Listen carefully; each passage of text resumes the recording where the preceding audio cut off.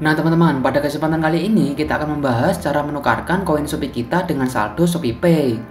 Di sini bisa dilihat teman-teman, saldo awal Shopee Pay saya 589.000 dan koin Shopee saya 1.775.000 koin.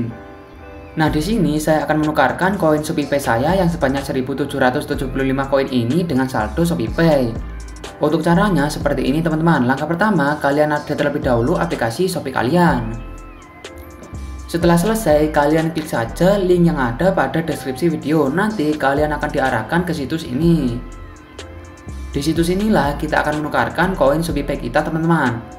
Setelah kalian berada pada situsnya, kalian klik saja menu lainnya ini. Karena kita akan menukarkan koin Shopee kita menjadi saldo ShopeePay, kalian pilih saja ShopeePay. Pada kolom nomor ini, kalian isikan saja nomor ShopeePay kalian.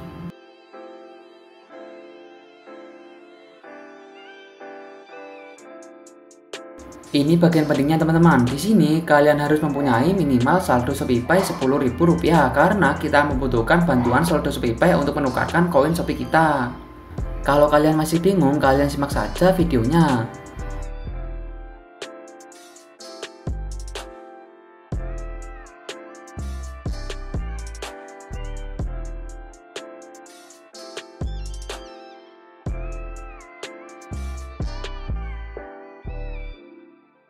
Untuk pembayaran di sini, kalian pilih saja metode ShopeePay teman-teman.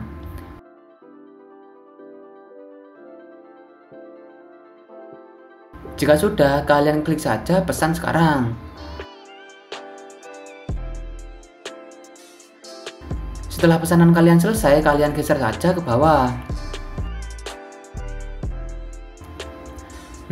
Nah, di sini kan ada kode barcode nih, teman-teman. Kalian screenshot saja kode barcode pembayaran tersebut. Jika sudah, kalian buka saja aplikasi Shopee kalian. Masuk di menu Shopee Pay. Di menu Shopee Pay ini, tinggal kalian klik saja bayar pakai barcode ini.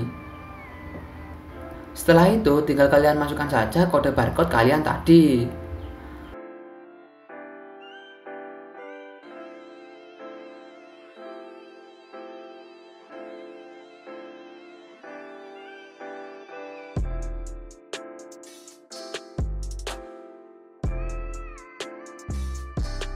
Di sini tinggal kalian tukarkan saja koin Shopee kalian untuk pembayaran top up Shopee Pay tersebut.